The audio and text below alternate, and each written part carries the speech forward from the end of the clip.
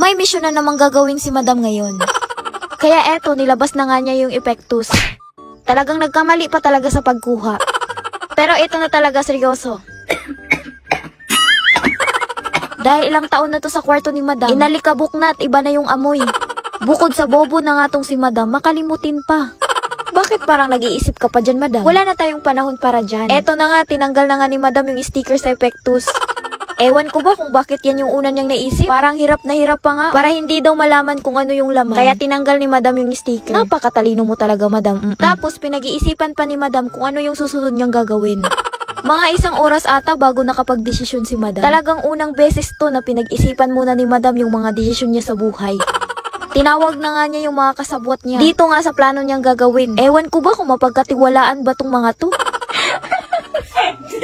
Eto na nga at sisimulan na nga ni Madam yung plano niyang gagawin. Dahan-dahang binuksan ni Madam yung sliding door niya sa mansyon. Pagkalabas nga niya sa kwarto niya, nakita niya pa yung alaga niyang dragon na naglabas ng sama ng loob. Nakikita kong swerte yung planong gagawin ni Madam ngayon. Eto na nga at suminyas na nga yung auntie ko. Pwedeng pwede na dang bumaba. Kaya si Madam bumaba na nga sa may hagdan. Ewan ko ba kung successful ba tong planong gagawin? Eto na nga, tinawag ko na yung pinsan ko na tinago muna namin sa kwarto pansamantala. Habang itong mga kasama ko, nililinis yung lamesa. Kung kailan nagsisimula na, dun pa nagsilinis tong mga to. Tinawag ko nga tong pinsan ko para utusan kong buksan tong box. Talagang naistorbo ko pa yung pag-skincare nito. Kung nakikita niyo, itong pinsan ko na may nakalagay na benda sa noo. Na-aksidente kasi yan. Kaya ayan, nagka-third eye sa noo. Ewan ko, hindi ko ma-explain kung ano yung nangyari. Huwag na lang nating pag-usapan at ituloy na lang yung plano. Kailangang magseryoso na tayo, baka kasi bomba tong nakalagay sa box na to.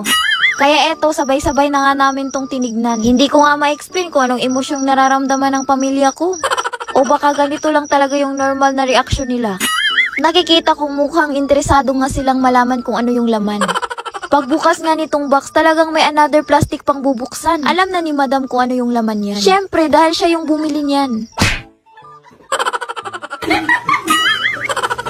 Sa sobrang excited nga, nagkakasakitan na sila dito. Pagkatapos ng plastic, may another bubble wrap na namang bubuksan. Kaya curious na curious talaga sila kung ano yung laman. Kunwari, pinagbukas ko sa pinsan ko. Pero hindi niya alam na para sa kanya talaga yan. Matagal na niyang binalak na ibigay yan. At matagal na din niyang binili yan. Eh kasi makalimutin din tong madam niyo. Akala din kasi ng pinsan ko na para sa akin to. Tinanong nga niya ako, bumili ka na naman ng cellphone te. Wala talagang alam na para talaga yan sa kanya.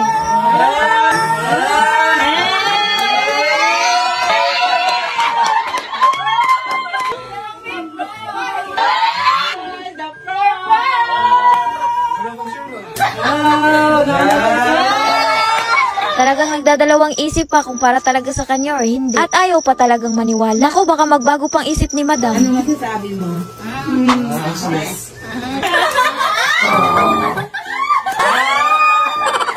Okay, pala yun sa... Tingnan yun ako ni. Once in a lifetime. Nilak lagi ka, te. Di man ikaw, gitigaan. Ang totoo, nabasa ko kasi yung luma niyang cellphone. Kaya iyan, pinalitan ko ng mas matibay. Cool.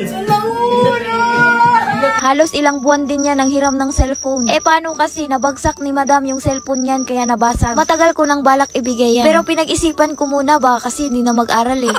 Pero nakita ko namang nagsipag kaya deserve niya yan.